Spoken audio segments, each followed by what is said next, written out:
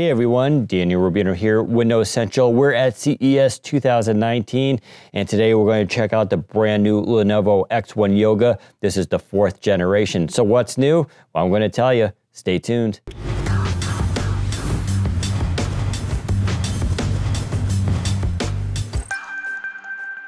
All right, the Lenovo X1 Yoga brings a ton of changes. One of them, it's now a metal design, aluminum, so they are differentiating it from the X1 Carbon. So this is gonna be a much different design. It's also slightly lighter now, which is really nice. Opening up the display, you're still going to get a 14 inch, but again, a ton of options available, including full HD, WQHD, and up to UHD now, so you can get this as a 4K display. Dolby Vision, ePrivacy, all that great stuff available. Windows Hello Camera, privacy shutter.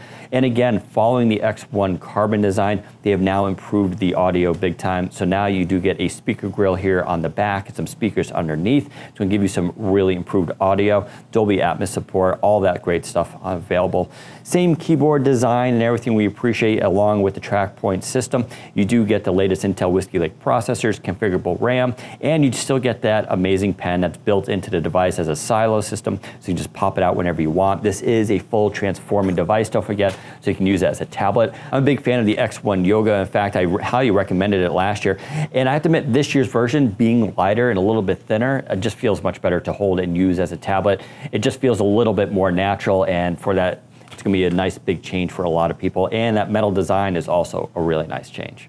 All right, so that's a quick look at the Lenovo X1 Yoga. You can get it starting in June 2019. Pricing starts at 1929, which is not going to be cheap, but it's a pretty amazing device. Now, we'll be doing a full review of this as well, so leave me a comment below. Tell me what you want to know and what you think of it. Otherwise, thanks for watching. Take care, everyone.